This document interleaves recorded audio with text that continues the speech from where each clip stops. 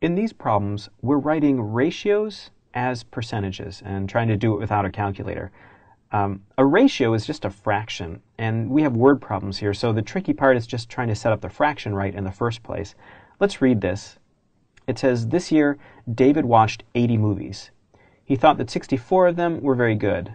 Of the movies he watched, what percentage did he think were very good? The, this number, the total number, is the one that's going to go on the bottom. And you can think of this as 64 out of 80 movies total, he thought these were good.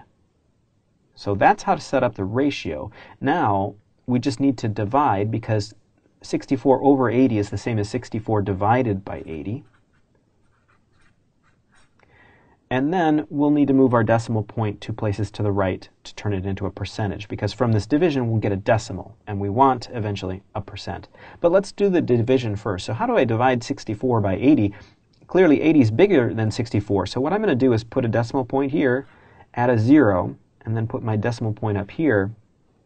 Now, let's see, oh, well I know 8 times 8 is 64, so if I put an 8 here, I would multiply it by the 0, that would go here, and then multiplied by the 8, 8 times 8 is 64. Aha, so that came out perfectly. So 64 divided by 80 is 0.8. Now to get a percent, I move the decimal point one, two places to the right, and since there's an empty spot here, I fill that in with a zero. So this is 80%.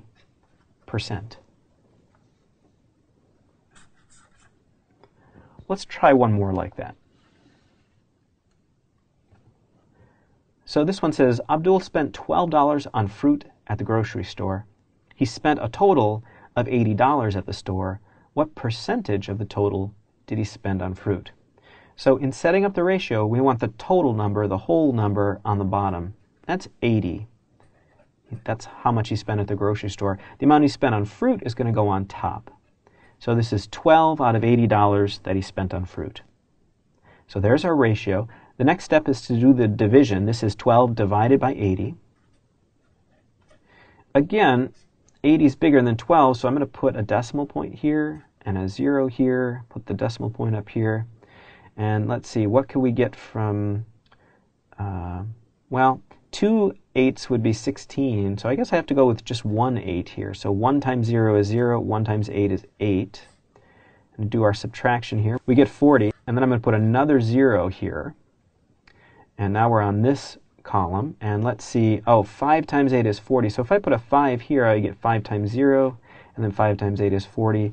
And that comes out to nothing. And we're done. So we got a 0.15.